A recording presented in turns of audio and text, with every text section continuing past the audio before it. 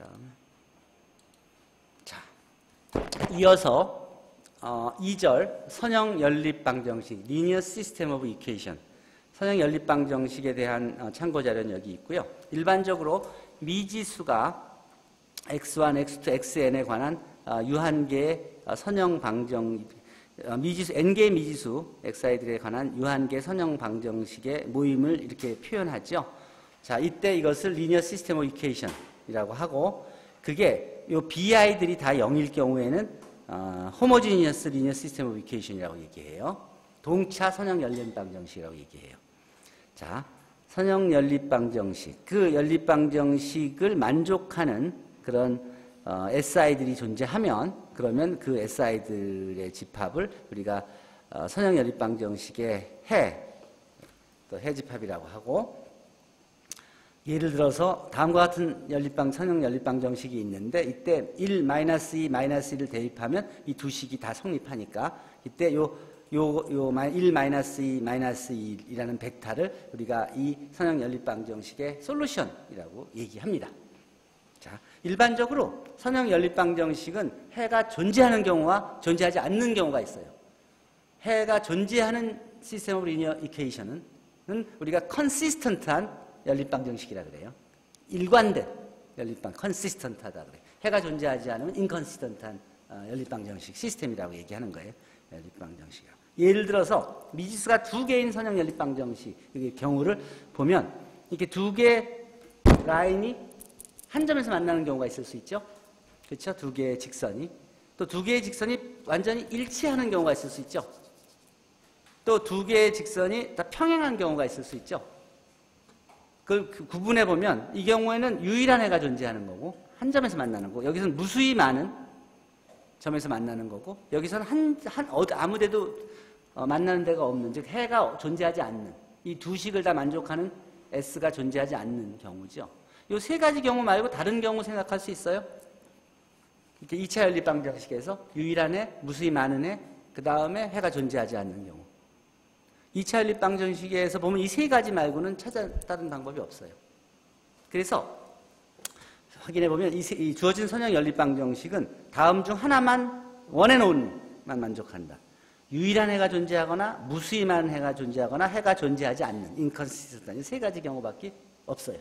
그럼 이게 3변수, 4변수일 때 어때, 어떨까? 이 3변수일 때 경우도 찾아보면 3변수일 경우에는 8가지 경우가 나와요.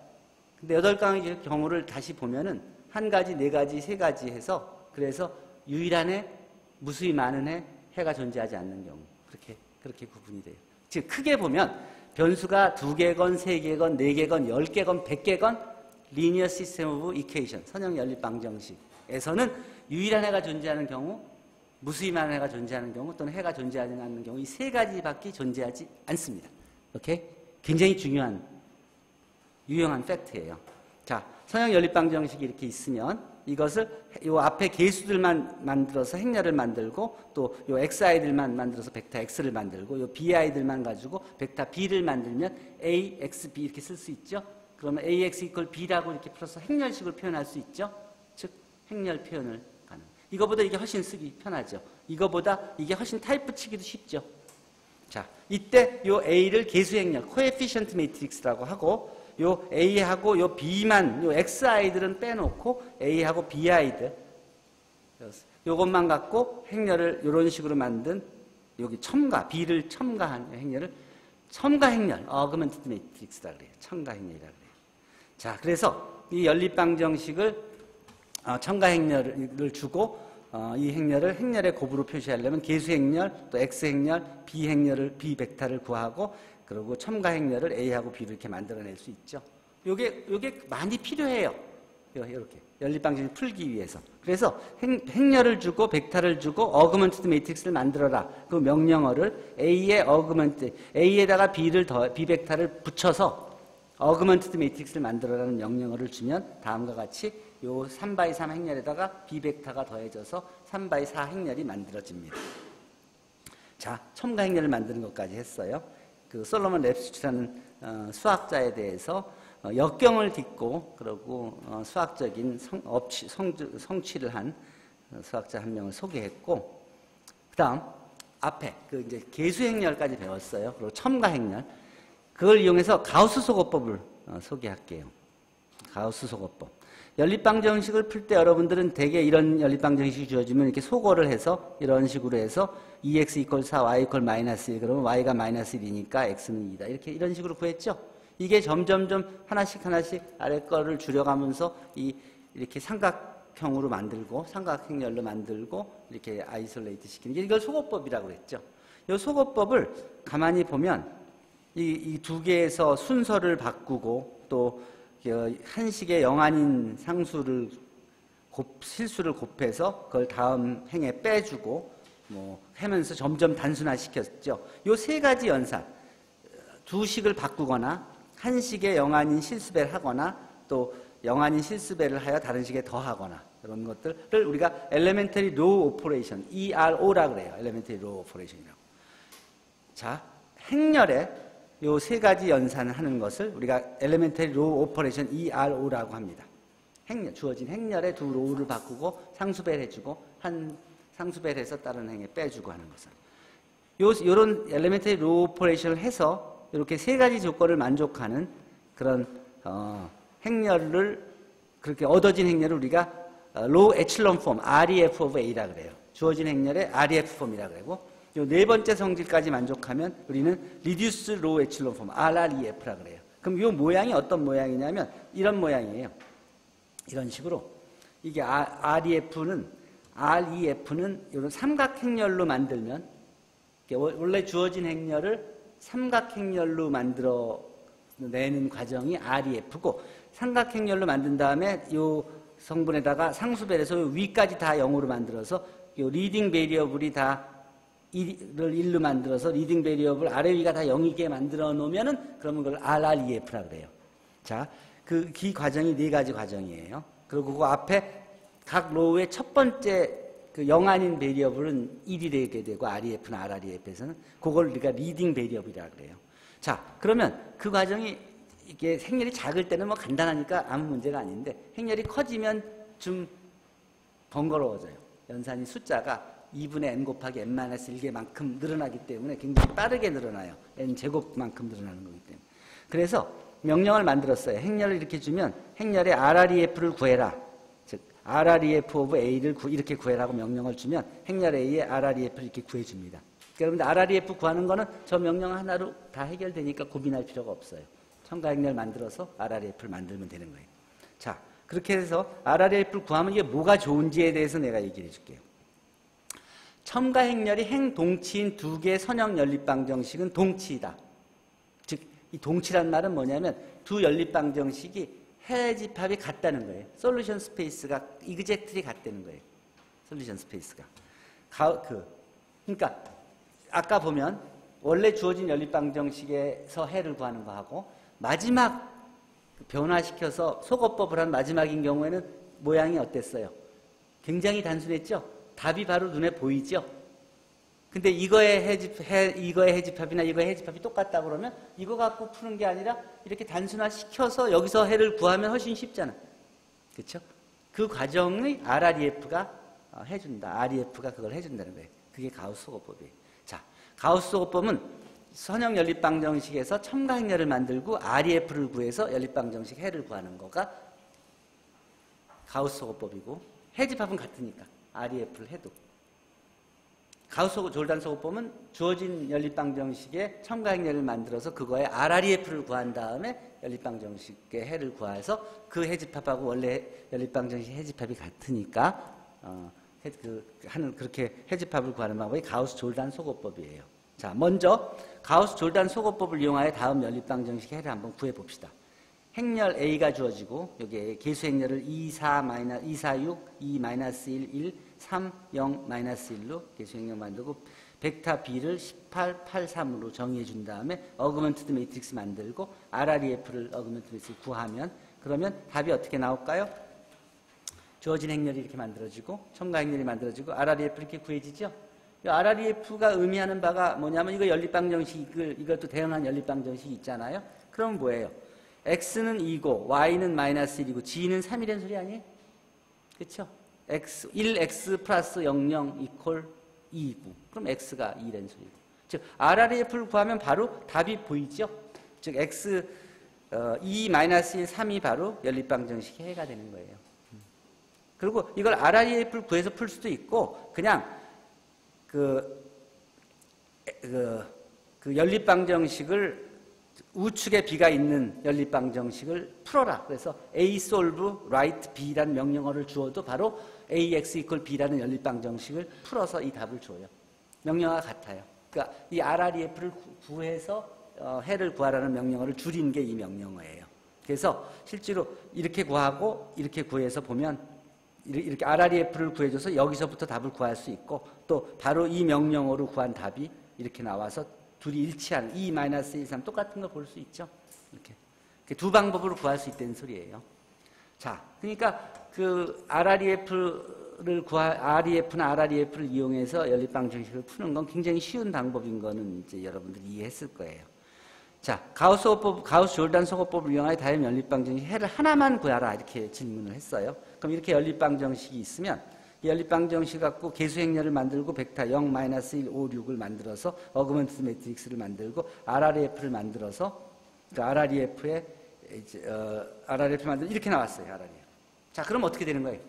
또 right solve 해라. ax equal b를 solve 해라. 뭐 했더니 답이 어떻게 나왔냐면 이렇게 나왔어요. 0, 0, 0, 0, 0, 3분의 1 이렇게 나왔어요. 자, 이게 무슨 의미일까? 여기서 보면 이게 마지막 row가 마지막 row가 0 벡터가 나왔죠? 이 보통 여러분 이런 경우에 무수히 많은 해가 존재한다 그러는 것이죠.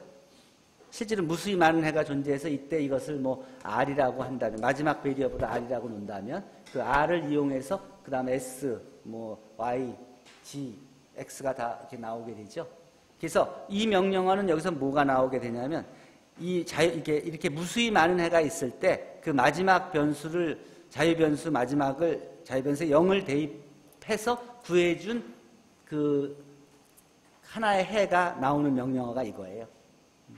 여러분들이 손으로 풀 때는 어, 이 RREF, REF, RREF를, REF를 구하고 나서, RREF를 구하고 나서는 이 free variable을 R로 놓고 그걸 주어서 전체 R 집합을 구할 수 있는 거예요. 근데 하나만 구하라 그러면 바로 그냥 이렇게 임의해를 구할 수 있죠. 실제로 이게 어디에 사용되냐면 이렇게 해서 일단 하나 구한 다음에 그 특이해를 가지고 그 다음에 일반해를 구하는 과정을 어, 수치적으로는 활용해요.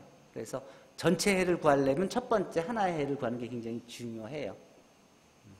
자, 어쨌든 이런 식으로 접근합니다. 음. 자, 이런 어쨌든 그래서 해가 존재할 때 유일한 해가 존재하면 유일한 해를 찾을 수 있고 해가 존재하지 않으면 존재하지 않는다고 나올 거고 그리고 무수히 많은 해가 존재할 때는 일단 첫 번째 하나 해를 이렇게 찾은 다음에 free variable을 집어넣어서 나머지 해들을 다 표현하면 되는 겁니다. 다음 행렬과 행렬식. Matrix. Matrix와 determinant. A하고 B가 다음과 같이 주어졌을 때 행렬 두 개의 합은 이런 식으로 아까 얘기했듯이 각각의 entry들을 component를 더해서 표현하고 스칼라배도 마찬가지고 그래서 A, B, C를 이렇게 주고 어, 스칼라배 또 addition, vector addition을 하라 그러면 행렬들 정의해주고 A 플러스 B를 또 두 배 A를 또는 마이너스 1배 C를 구하라 그러면 바로 답을 구해서 주죠. 여러분들이 그러니까 행렬을 주고 뭐 연산하는 거는 손으로도 할 수 있고 쉽게 할 수 있을 거예요. 두 번째는 두 행렬의 곱이에요. m by p 행렬하고 p by n 행렬 있을 때 요 두 행렬의 곱인 m by n 행렬은 어떻게 표현하느냐? 어, A, B 두 행렬을 곱한 거를 C라고 한다면, 한다면, A는 이렇게 row vector로 표현할 수 있죠. 그리고 B 행렬은 이렇게 column vector로 표현할 수 있죠. 그러면 요 A, B의 그 IJ 성분, 그걸 CIJ라고 한다면, 요, 요 행렬, 요 C의 IJ 성분은 요거의 I번째 row하고 요의 J번째 컬럼을 곱, 곱한 그런 성분인 것을 확인할 수 있어요. 실제로. 실제로 A, B를 다 구해서 계산해 놓은 건 이걸 보면 이게 이 표현이 요 표현이 바로 요거고 요것이 A의 I번째 row, B의 J번째 컬럼을 곱한 즉 inner product of those two vector인 걸 확인할 수 있어요. 오케이? 자, 그래서 A의 i번째 row하고 B의 j번째 컬럼을 곱한 요것이 CI가 J, CIJ가 된다. 그래서 A, B의 IJ 성분은 이렇게 생겼다. 요래서 A, B는 결국은 이렇게 CIJ 이렇게 구분되는데 여기 i번째 row하고 j번째 컬럼을 곱해서 각각의 성분이 나온다. 이렇게 이해하면 됩니다. 요걸 요게 요쪽 갖다 이렇게 가죠. 이게 계속 기역자랑 비슷하잖아요. 그래서 이걸 King Sejong rule이라고 불러요. King Sejong의 rule. 그래서 두 행렬 곱해서 성분을 구할 때는 row vector하고 column vector들을 각각 곱해서 한 성분씩 채워놓으면 기역자 rule에 의해서 음, 행렬 곱을 구할 수 있다.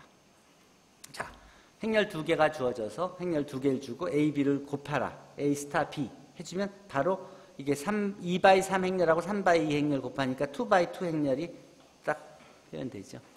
이거는 아까 그 명령어를 그대로 집어준 거예요. 두 행렬 곱하면 바로 구해줘요. 그러니까 행렬 곱하는 건 물론 손으로 다 할 수 있지만 어차피 어떻게 돌아가는지는 아니까 바로 명령어로 해결할 수 있어요.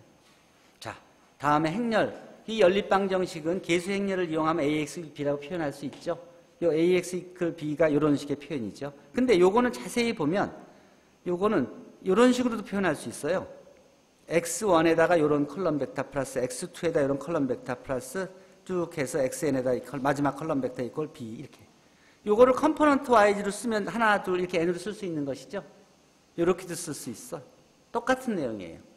이게 두 개. Equation 양쪽 equality가 같다는 거예요. 요거는 어떤 의미냐면 x1의 a의 첫 번째 column 플러스 x2의 a의 두 번째 column 이런 식으로 column vector들의 1차 결합으로 B를 표현할 수 있다는 소리예요. 오케이? 그러니까 이 AX equal B를 이런 식으로 표현할 수 있다는 거예요. 이게 나중에 가면 여러분들 eigen decomposition 네, 사용, 사용되는 내용들이에요. 자, 어쨌든 요 이런 식으로 다양하게 표현할 수 있는 거예요. 이렇게 표현할 수도 있고 이렇게 표현할 수도 있고 이렇게 표현할 수도 있고 이렇게 표현 다 같은 표현이라는 거예요. 제로 행렬은 이렇게 제로 n by n으로 표현하고 이게 다 제로 행렬이고 아이덴티티 행렬은 IN으로 표현해요. 중고등학교 때는 E로 표현하는데 아이덴티티 행렬이기 때문에 대학에서는 I로 표현해요. IN은 이런 표현이고 거듭 제곱은 K 이렇게 파워로 표현하고 전체 행렬 트랜스포즈는 이 그 IJ 성분이 JI 성분으로 가는 이렇게 IJ 성분이 이렇게 바뀌는 거예요. A 트랜스포즈의 성분은 IJ 성분이 JI 성분으로 와 있다. 이렇게 표현하면 돼요. 전치 행렬은 원 행렬의 행과 열을 바꿔 얻어진 행렬이다. 예를 들어서 A가 있고 B가 있다 그러면 A를 이렇게 정의하면 A의 transpose 또 B의 트랜스포즈를 구해보면 요게 2 by 3 행렬은 3 by 2 행렬 이렇게 바뀌어지고 요, 요 행렬은 요 row들이 여기서는 column이 되죠. row하고 column이 바뀌는 거예요. 로우들이 컬럼이 되고 컬럼들이 로우가 되고 여기서 A transpose of A, transpose of B가 바로 이렇게 표현되죠. 이거는 다음 명령어는 요거 Z가 이제 자연수라는 용어의 독일어 아, capital이에요. 7by 12 자연수 행렬을 랜덤하게 생성해라는 명령어예요. 그러면 그래서 그걸 A라고 하자. 그리고 A transpose를 구해라. 그러면 여기에 7by 12 행렬이 랜덤하게 구해져요. 그리고 A 트랜스포즈는 그 행렬의 transpose인 12by 7인 행렬이 표현이 되죠. 그러니까 행렬을 필요에 따라서는 여러분들이 큰 사이즈 행렬들을 다 타입 치기 귀찮잖아.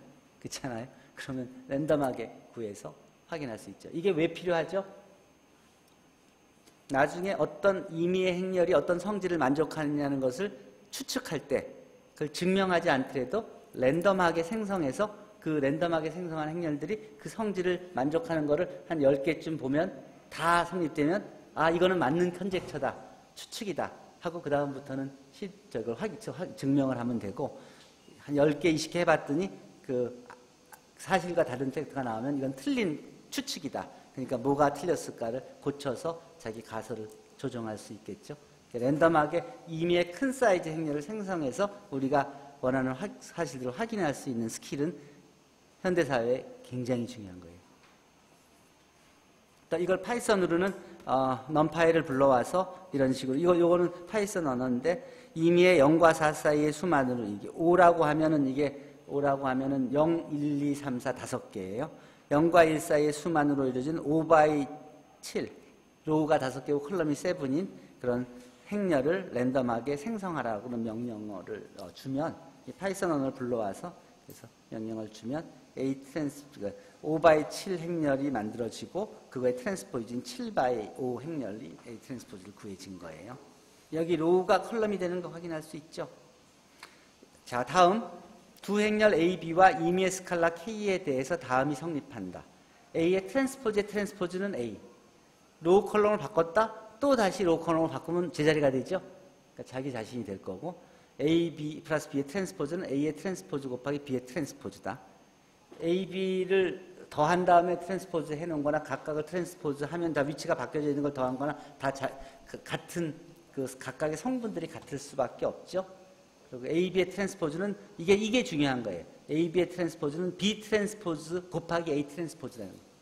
요거는 여러분들이 한번 요거를 요거에 대해서 한번들 그뭐 Quora에서 물어보면은 이 증명이 정확하게 나와 있는 게 있으니까 누가 가져와서 공유하세요. 아니면 내 lecture note에도 다 증명이 있으니까 한번 공유하세요. 굉장히 중요해요. 이게 AB의 인버스도 B 인버스 곱하기 A 인버스예요. 순서가 바뀌어요. 앞하고. 덧셈하고 달리. 곱셈하고 덧셈하고 이런 차이가 있다는 거. 요 3번 여러분들 discussion 한번 해보도록 하시고 상수배에서 KA transpose 하는 건 순간 A transpose 상수배 하는 건 똑같다.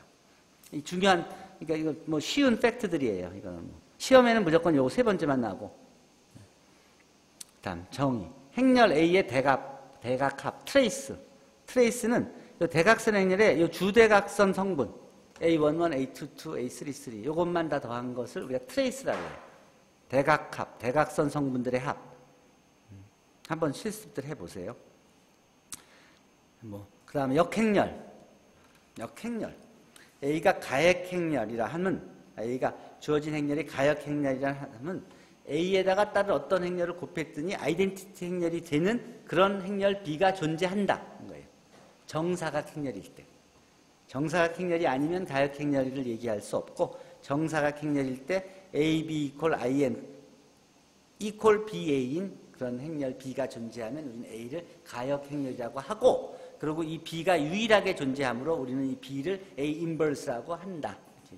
저 B 저 A, B 이퀄 I가 아이덴티티가 되는 그런 또 그런 행렬 B가 여러 개가 존재하지 않아요. 만약 여러 개가 존재한다면 그것이 같은 것이라는 걸 쉽게 증명할 수가 있어요.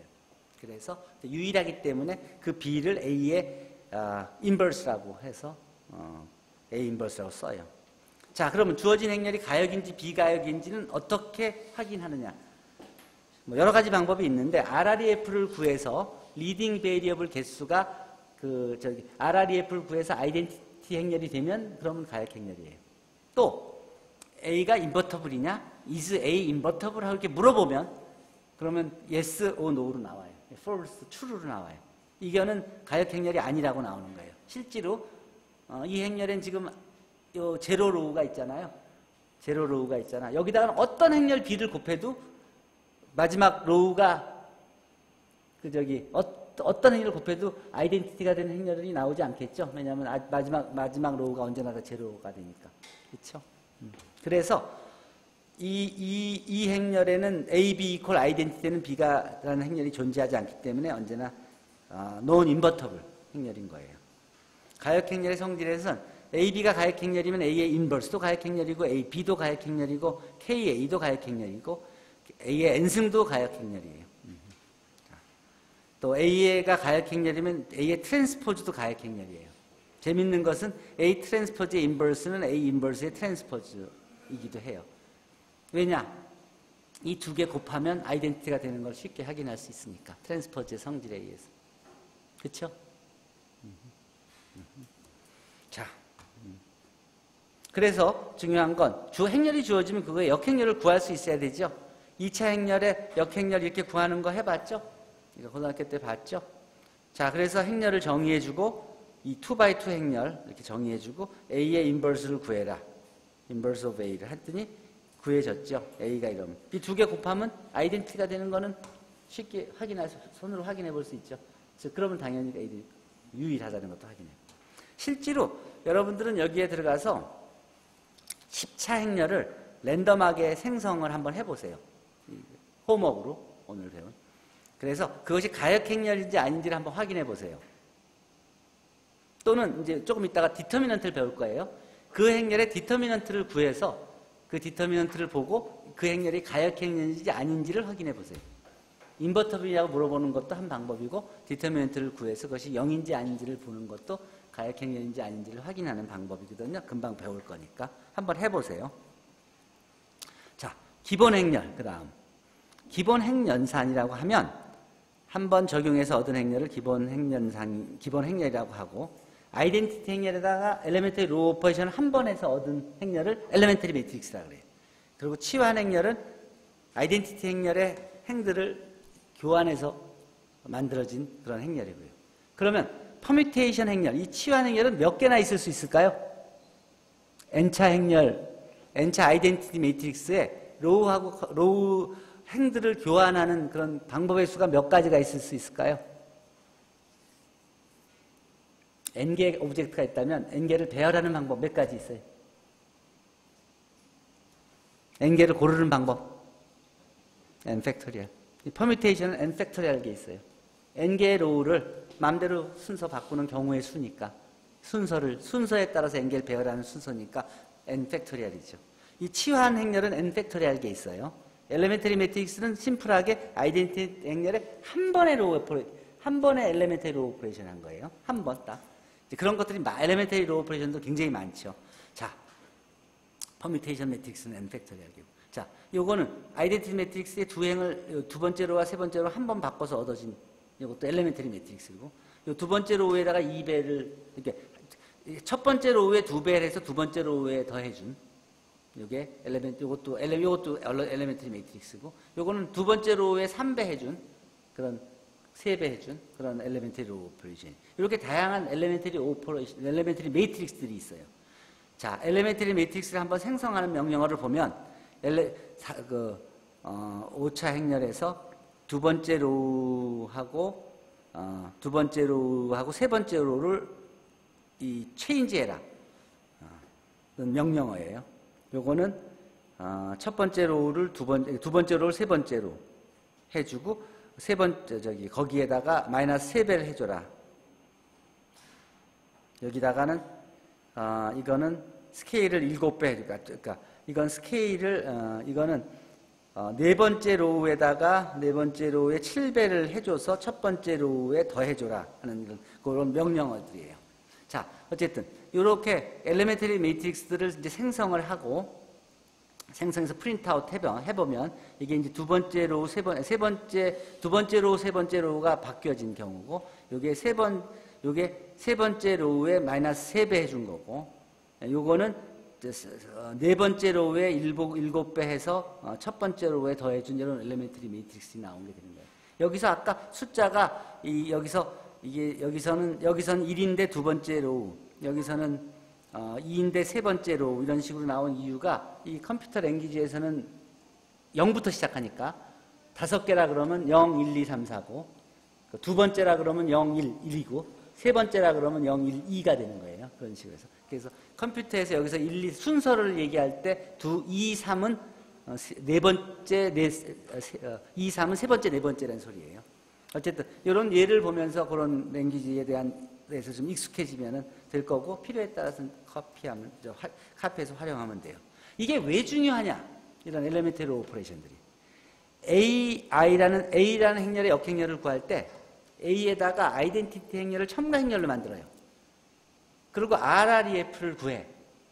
RREF를 구하면 만약에 A가 가역 행렬이면 앞에 A는 무조건 아이덴티티 행렬이 되고 뒤에 아이덴티티 행렬은 무조건 A의 인버스가 돼요. 즉 RREF만 구하면 inverse가 돼요. 이게 어떤 의미가 되냐면 행렬에 elementary row operation들을 한다는 소리는 elementary matrix들을 A에다가 곱한다는 소리예요. 대응하는.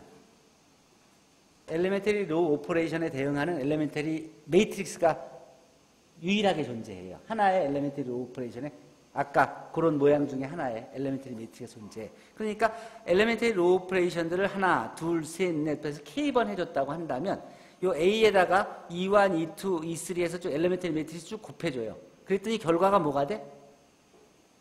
A가 identity가 돼버렸다는 소리죠. 그 얘기는 A에다가 이런 elementary matrix들 product를 곱했더니 identity가 됐다는 소리니까 요 elementary matrix들 product가 바로 뭐가 된다는 소리예요? B가 된다는 소리죠. 즉 B 곱하기 A가 identity가 된다는 소리죠. 그렇죠? 그렇다면 B가 뭐예요?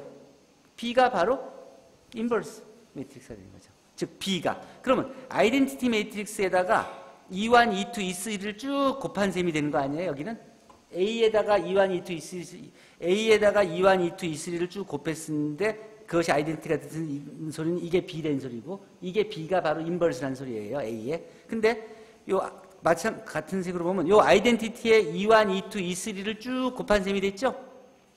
그러니까 요게 바로 뭐가 된 거예요? 요게 바로 요 B가 된 거예요. EK부터 쭉 E1까지 곱한 게 요 자리에 있는 거잖아요. 바로 그게 B잖아요. B가 바로 A 인버스잖아요. B 곱하기 A가 아이덴티티니까. 그러니까 이 여러분들이 앞에서 배운 엘, 저기 가우스 소거법 RREF 그 RREF가 바로 첨가행렬을 만들고 RREF를 구하면 바로 역행렬을 구해주는 거예요. 역행렬을 구하면 얼만큼 좋은 거예요? AX equal B에서 유일한 해를 구할 수 있는 거죠? AX equal B에서 A의 역행렬을 구하면 A 인버스를 곱해주면 X equal A inverse 곱하기 B가 돼서 unique solution을 구할 수 있는 거죠. 그러니까 역행렬을 구할 수 있다는 것은 문제를 풀 수 있다는 거예요. 문제를 풀 수 있다는 것은 최적해를 찾을 수 있다는 소리고 유일한 해를 찾을 수 있다는 것은 optimal solution을 찾을 수 있다는 소리예요. 굉장히 중요한 게 바로 이 가우스 소거법, elementary row operation, elementary matrix에 의해서 이루어졌다는 거죠. 이루어진다는 것이. 그 명령어도 너무나 간단하고. 자, 그 단계를 한번 설, 다시 한번 설명해 줄게요. 주어진 행렬 A의 단위 행렬 IN을 첨가하여 N 곱하기 2N을 행렬을 만들어요. A하고 IN. 그러면 로우는 N개고 컬럼은 2N개가 되죠. 요것에 RREF를 구해요. RREF를 구해서 그 RREF가 CD라고 하면 만약에 C가 IN이면 바로 이 D가 A 인버스예요. 요, 요, 요 뒤에, 요거, 요거, 요게 CD라고 하면 요 C가 IN이면 바로 D가 A 인버스란 소리고 만약에 이 C가 아이덴티티가 아니면 그러면 무조건 A 인버스는 존재하지 않는 거예요. RREF를 구해서 C가 아이덴티티가 아니면 역행렬은 존재하지 않는 거예요. 그래요. 아주 심플해요. 왜냐하면 아이덴티티가 존재하면 RREF가 아이덴티티가 되어야만 되거든. 근데 아이덴티티가 아니면 역행렬은 존재하지 않는 것이죠. 제로 로우가 있으면 아이덴 역행렬은 무조건 존재하지 않는 거죠. 자, 봅시다. 그래서 AI, RREF를 구해서 역행렬을 구해보면 행렬 A를 주지요. 그럼 A를 이렇게 주고 그 A의 아이덴티티 매트릭스를 이제 정의해서 그 아이덴티 매트릭스를 첨가행렬로 만든 다음에 그거에 RREF를 구하죠. 구해 보니 구해 보고 한번 구해 보면 어떻게 돼요? 행렬 A에 AI의 RREF를 구해 보면 이렇게 구해지죠. 그럼 이게 C지요. C가 아이덴티티죠. 그럼 이게 D지요. D가 바로 A의 인버스라는 소리죠. 그래서 A 인버스를 실제로 구해 갖고 비교해 보니까 둘이 똑같죠? 그렇죠? 그렇죠? 이렇게 되는 거예요. 요 행렬이 요게 RREF를 구해서 요게 아이덴티티면 요게 바로 인버스가 되는 거예요. 그래서 여러분들 표현해 주려고 일부러 명령을 이렇게 만들어 준 거예요. 여기서 그 역행렬 구하는 거 하면 실습들 하세요. 그리고 이게 이거는 내가 만든 건데 이렇게 하면 이 3차 행렬이 랜덤하게 만들어져서 여기서 여러분들이 행렬을 더 행렬을 더 할 수도 있고 랭크를 구할 수도 있고 행렬에 이걸 랜덤하게 만든 거예요. 이걸 여러분들이 고칠 수도 있어요. 그래서 랭크를 구할 수도 있고 트랜스포즈를 구할 수도 있고 여기서 뭐 첨가 행렬을 만들 수도 있고 첨가 행렬에 역행렬을 구할 수도 있고 에게 역행렬도 구할 수 있고 디터미넌트도 구할 수 있고 adjoint matrix도 구할 수 있고 뭐 특성 방정식도 구할 수 있고 어, 노름도 구할 수 있고 행렬의 노름이에요. eigenvalue, eigenvector를 구할 수도 있고 eigenvalue를 구할 수도 있고 eigenvector를 구할 수도 있고 뭐 LU 분해도 할 수 있고 QR 분해도 할 수 있고 뭐 SVD도 할 수 있어요. 이게 이뿐만 아니라 이게 3차 행렬이 아니라 이게 4차 행렬로 여러분들이 이걸 바꿔줘도 4차 행렬을 만들어서 랜덤하게 만들어 준 거예요. 이 4차 행렬에 뭐 determinant를 구하고 역행렬을 구하건 다 여러분들이 할 수 있어요. 이게 스퀘어 매트릭스냐 시메트릭이냐, 시메트릭은 아니고 인버터블이냐, 맞다. 허미시안이냐, 아니다. 이런 식으로. 어쨌든 이게 이 키는 뭐냐면 컨트롤. 여러분들이 아까 내가 보여준 파일 세문서 이게 이게 아까 여러분들이 본 전체 코드예요. 이게 파이썬 기- 기반의 코드예요. 여기에 여러분들이 아까 내가 한 페이지 길게 만들어준 거 처음에 보여줬죠? determinant 구하고 eigenvalue 구하고 RREF 구하고 뭐 하는 것들 QR 구하고 LU 구하는 거. 그 전체 커맨드를 여기에 하나에 집어넣어서 엔진으로 하나 만들어 놓은 거예요. 오케이? 음. 자, 어쨌든 다양한 것이 가능해요. 자, 이렇게 해서 여기서 그러면 여기서 여러분들이 알아 역행렬 구하고 뭐 하는 것들을 뭐 여러 가지 방법을 할수 있다는 것도 이해하죠? 랜덤하게 생성해서도 할 수 있고 큰 사이즈 행렬도 다룰 수 있죠? 사이즈들. 어, 자, 이어서 삼- 어, 선형 연립방 정식의 해집합. 이제 그러면 해집합 AX 이퀄 B에서 역행렬을 구할 수 있게 된 거야. 존재한다면.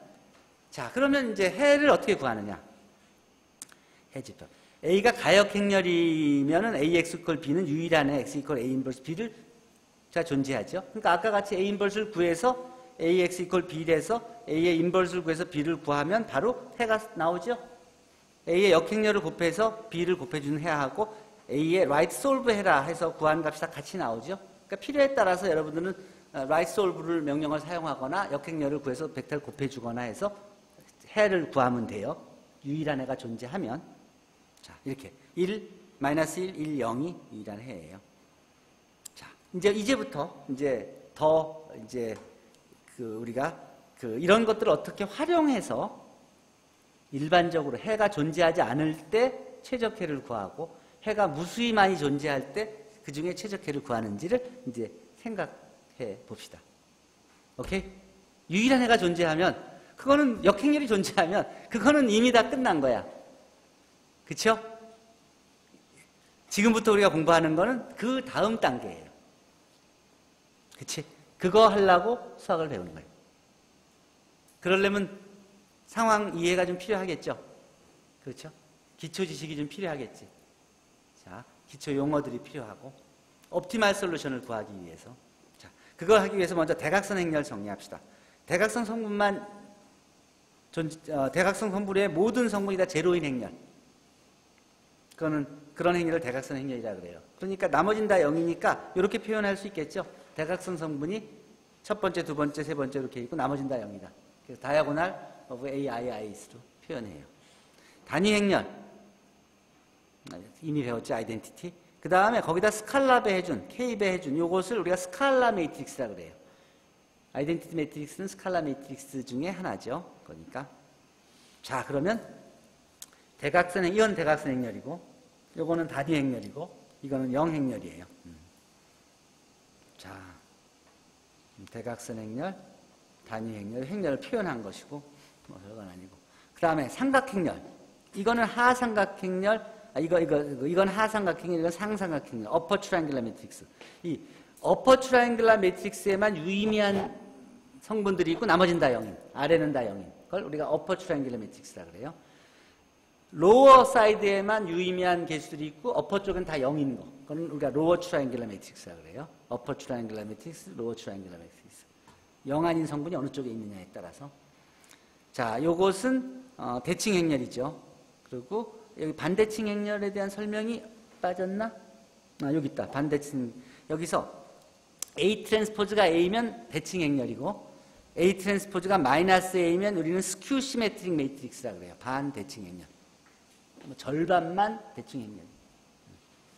이 두 개가 왜 중요하냐면 모든 행렬은 대칭 행렬과 반대칭 행렬의 합으로 표시할 수가 있어요. A 이퀄 2분의 A 플러스 A 트랜스포즈 플러스 2분의 A 마이너스 A 트랜스포즈 하면 A 트랜스포즈가 없어지면서 2분의 A 플러스 2분의 A 해서 A가 되거든요. 음. 그래서 대칭 행렬을 대칭 행렬과 반대칭 행렬로 decompose 시킬 수가 있으니까 대칭 행렬에 대해서 공부하고 반대칭 행렬에 대해서 공부하면 원래 행렬을 완전히 이해할 수 있다는 소리죠. 그래서 대칭 행렬. 그리고 대칭 행렬 공부를 충분히 하면 반만 대칭 행렬인 skew symmetric 행렬에 대해서도 충분히 이해할 수가 있잖아요. 그러니까 대칭 행렬에 대한 공부가 굉장히 중요하다. 일반적인 행렬 이해하려면.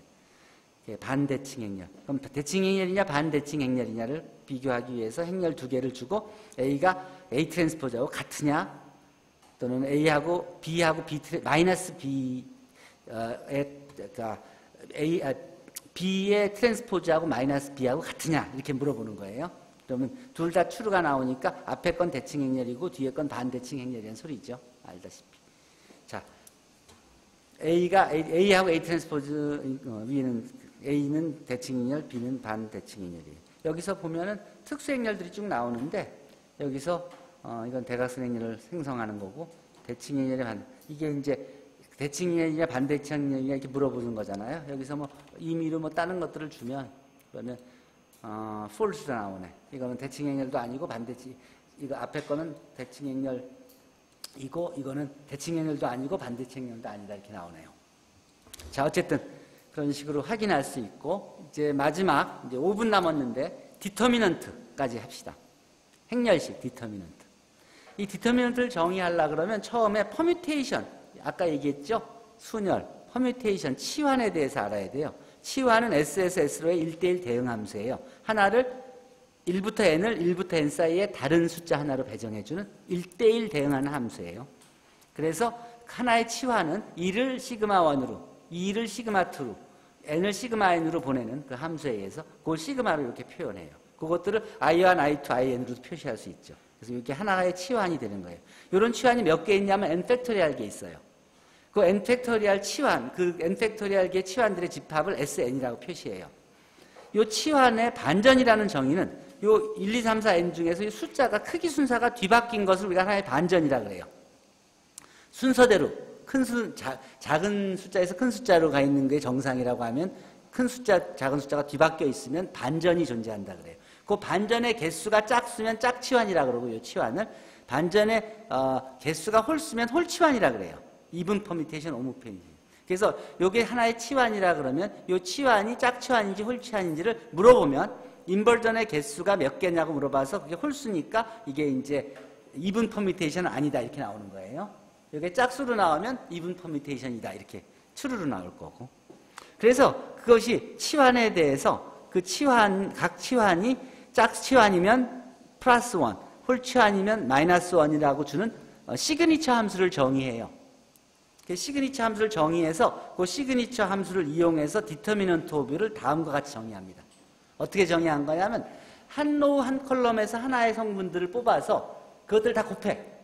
그리고 거기다가 거기에 사용한 치환의 sign이 플러스나 마이너스에 따라서 플러스 또는 마이너스를 줘.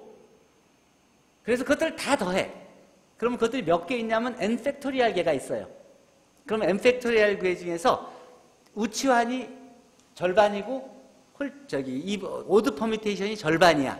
그래서 2분의 n factorial 개 플러스인 것 플러스인 것들하고 2분의 n 팩토리얼의 마이너스인 것들하고를 다 더한 것이 바로 determinant of a가 돼요. 그래서 여러분들이 2차 행렬일 때는 두 개 해서 하나는 플러스 하나는 마이너스였던 거죠.